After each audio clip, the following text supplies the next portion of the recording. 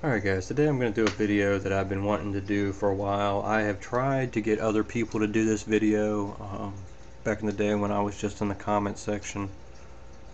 Uh, I tried to bring this to a, number of people's attention and nobody wanted to make a video of it because they were afraid of copyright infringement. But the uh, fair use law says that we have the right to uh, to do this. We have the right to uh, you can call it a parody or you can call it uh, information, informational or educational.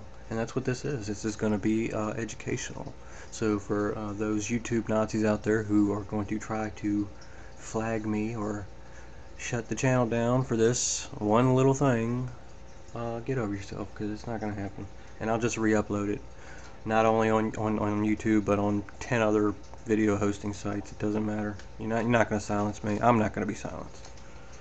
Um, but I digress. Uh, you know, this person definitely has it wrong. This is not the third six. Uh, this is the third, or the second six, I should say. There's the one, there's the two, there's the three. It's also backwards. We have one, two, three. So it goes forward and backwards. Six, six, six. Now I we'll talk about the uh, the recent epidemic of uh, lemonade stands being fined, and there's at least, uh, I'd say there's at least five mainstream articles of five separate occasions where uh, lemonade stands have been shut down and fined.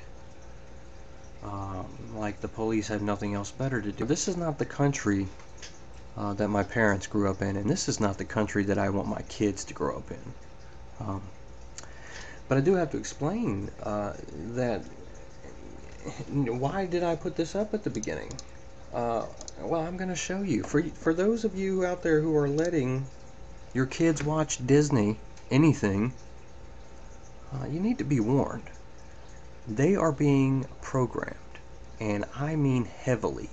While you're in the kitchen doing dishes or folding laundry, your kids are sitting there and they're sucking this in. And I just want to play a short clip for you that can kind of break it down for you.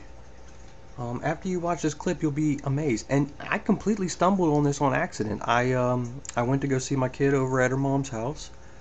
I walked in the door, and uh, this television show is on called uh, Jessie. It's on the Disney Channel.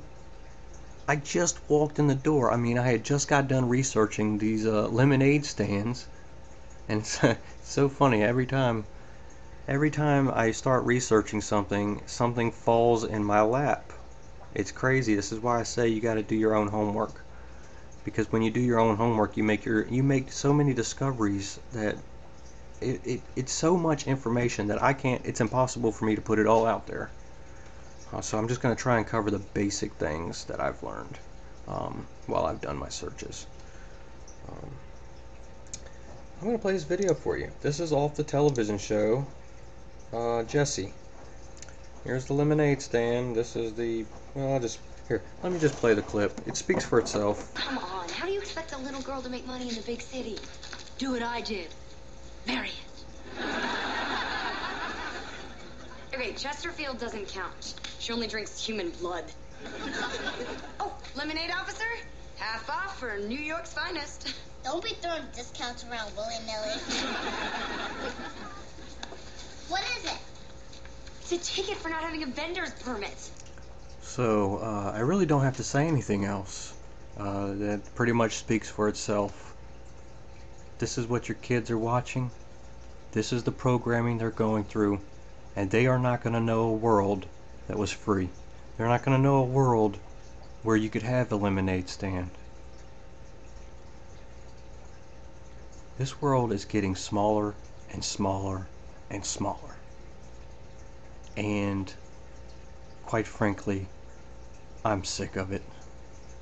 Thanks for listening.